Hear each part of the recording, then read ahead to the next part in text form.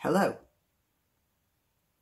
Do you know, I went to the hairdresser's this morning and this afternoon my husband said to me, aren't you going to the hairdresser tomorrow morning?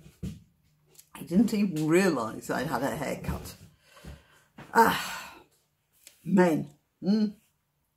Now, I'm going to go into the Donald Trump tweet. There's been a lot of talk about it, hasn't there? And it's been a big fuss. And Tim Pool made a video all about why he thinks Trump made those tweets. And he has, I think he's got that spot on. While this fuss is going on, nobody is paying attention to the restrictions that are being pushed through about who can seek asylum. And that's that's pretty clever if uh, if it really did turn out like that. And uh, Tim makes a very persuasive argument to support his theory. However, I have something which you might call a a fleshing out on that. And I'm going to read the tweet that Donald Trump originally made. I believe he's made more since then. Why don't they go back and help fix the totally broken and crime infested places from which they came? Then come back and show us how it's done. These places need your help badly. You can't leave fast enough. I'm sure that Nancy Pelosi would be very happy to quickly work out free travel arrangements. I shall ignore the split infinitive there. It should be very happy quickly to work out free travel arrangements, but he's the president. The Democrats are, of course, screaming racism. Let me ask you, what would you do if the president said, I am a racist? That's why I said it. Condemning President Trump's racist comments directed at four of their own colleagues. And the comments are racist. And indeed, it wasn't very nice.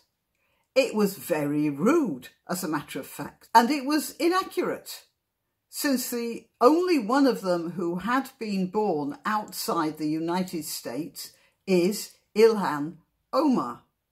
But I want to point something out that people seem to have forgotten. Donald Trump is the President of the United States. That means he's privy to a lot of information which you and I don't have.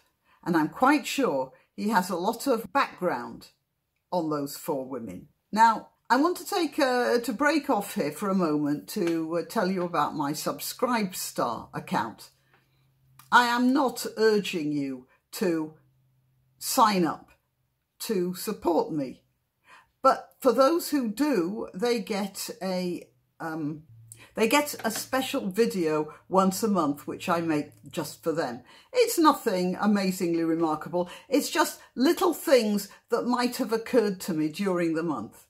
And one of them was actually, uh, some months ago, it was a video about Rashida Tlaib, which I had uh, paid attention to. Uh, there's something that happened that paid attention, but it was a very small thing and I didn't really know what to do with it. So I made the video and I put it up on my uh, for my Subscribestar supporters.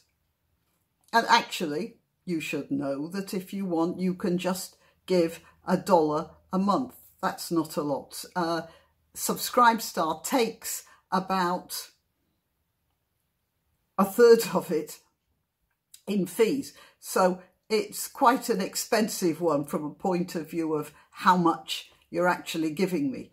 I think, um, I'm not sure, but I think, you know, I, uh, uh, you, you, you pledge a dollar and, and I end up getting maybe 70 cents, maybe a little bit under that. However, every little helps, as a famous supermarket round here in Britain happens to say. But that's sort of by the, by the way. I'm going to put up here a picture which was painted for Rashida Tlaib when she became a congresswoman. And I found it very disturbing. And I put it up on my Subscribestar uh, page, asked if anybody had anything to say about it. Nobody did. But now I have actually found a use for it, or at least for the knowledge. Uh, Rashida Tlaib describes herself as a Palestinian. Now, look, Donald Trump told these women to go back when they happened to be, have been born in America. But he was telling them to go back because, well, that's their, well, that's their character. That's the character they project in their interaction with the public. They call themselves, uh, uh, Ocasio-Cortez calls herself a Puerto Rican, doesn't she? And Tlaib calls herself a Palestinian. So she doesn't call herself an American of Palestinian heritage. She speaks about a Palestinian to the uh, being a Palestinian to the extent that when she attended um, some sort of uh, celebration for her inauguration, she made a speech during which she used the words Palestine, Arab, and Muslim, and not once did she use the word American. So her identity is very definitely that of something that is not originating in America.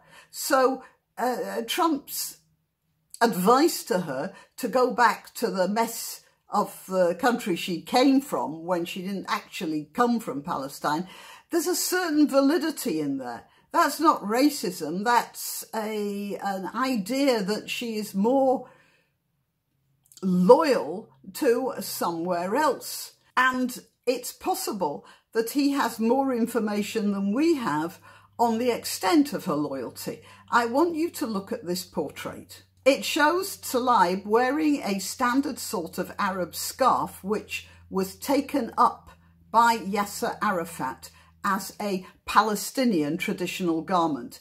It was all over the place uh, before that, but it's become, that particular pattern has become synonymous with Palestine. It's a bit like the tartan, you know, the Scottish tartan. The Scots never had specific tartans for specific clans until the Victorian English decided that it would look traditional. And so they invented a whole load of various patterns, which then became clan markers. Um, and that's what sort of happened with that Palestinian uh, scarf, which is called a keffiyeh. Anyway, back to Rashida Tlaib's keffiyeh. If you notice, she's got it wrapped around the White House. Now, that's not an accident, can't be. If she had been shown standing in front of the White House wearing that scarf, well, that's perfectly reasonable. She reckons her culture goes back to that part of the Middle East that has been called Palestine. And if she wants to wear a garment that evokes that, well, that's absolutely her prerogative. And there's nothing wrong with it. But extending it around the White House, no, that's not a fashion statement anymore. That's just a statement. And how it's not the only statement either because there's something else with that keffiyeh. It's very deeply symbolic in another way. Now, I know there are people watching this video who will now accuse me of being some sort of Mossad agent. They've done it before. But actually, I don't think many Israelis are aware of the next thing I'm going to tell you. Well, one of my uh, financial supporters on Subscribestar is living in Israel. I'm assuming she's an Israeli. Uh, and when she saw the video, the one I put up about the Tlaib uh, headscarf thing, uh, she was really surprised. She wrote back to me. She said she had no idea about this connection with Yasser Arafat. Uh, but you see, I watch the Arab news media and it goes like this. This is a picture of Yasser Arafat. Notice the scarf he's wearing. It's not an accident the way it happens to be draped over his shoulder. He made a big thing of deliberately draping his scarf into a pretty good representation of the map of what is now Israel, Gaza, and the West Bank of Jordan. I'll superimpose a map over that picture and you'll see what I mean. It was saying that the whole area, so far as he was concerned, was Palestine and belonged to the Arabs. Look, he was welcome to that opinion. I mean, he killed a lot of people in the process of Uh, hanging on to that opinion and it didn't work out for him. But that was his thing and he stuck to it. Well, that and and all the money he raked in, of course. But every Palestinian knows exactly what the shape of that scarf meant.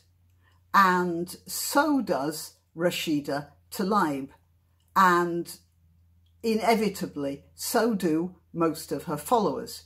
So when she shows the White House draped in that keffiyeh, that is of significance, at least to her and her community, uh, which, which Americans should not ignore.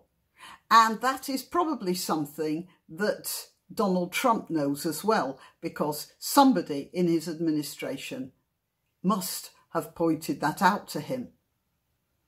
And so when he talks about those women, and frankly, they make me ashamed of womanhood, those, those females they undercut everything about feminism that I ever stood for. Anyway, that's beside the point. Much of Trump's information is stuff that we aren't privy to. And I'm quite sure that somebody in his administration pointed this particular picture out to him and told him what it meant. Click on subscribe and then on the bell so you're notified of a new video. Occasionally you might find your subscription has lapsed without your knowledge. So keep checking that button. Thanks for listening. Please like and subscribe and if you wish to donate, click the Subscribestar link where you can make a one-off payment or set up a regular contribution or I have a PayPal account at granniopteryx at gmail.com. Till next time.